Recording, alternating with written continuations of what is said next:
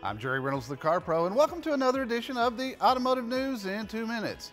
It looks like the car industry is turning around faster than anybody guessed.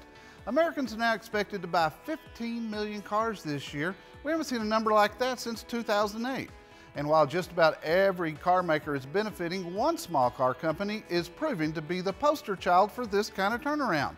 Fiat sold only about half the number of Fiat 500s it hoped to last year. But with a new sexy advertising campaign that includes celebrities like Jennifer Lopez and Charlie Sheen, plus a couple of special edition models and the addition of more Fiat dealerships across the country, the company's finally gaining momentum. In fact, Fiat says it could sell out of some of its special edition models by mid-summer. Now I got to drive one of those special editions, the high performance Fiat 500 Abarth. Take a look.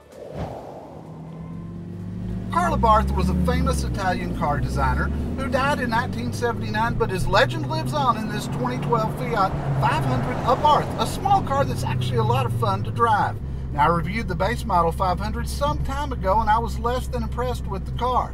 But this car is a lot different and it starts under the hood with a 1.4 liter four cylinder that's turbocharged. The 500 Abarth is rated at 160 horses, but it feels like a lot more in a 2,500 pound car. Comes with a 5-speed manual transmission.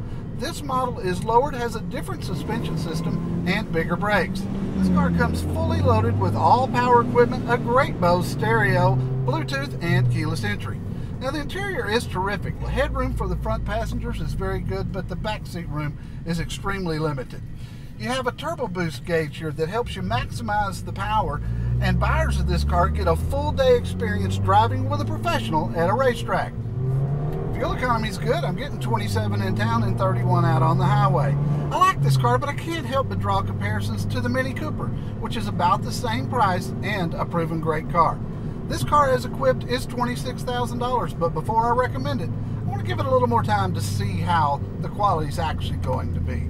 I will tell you though, this is a fun car to drive.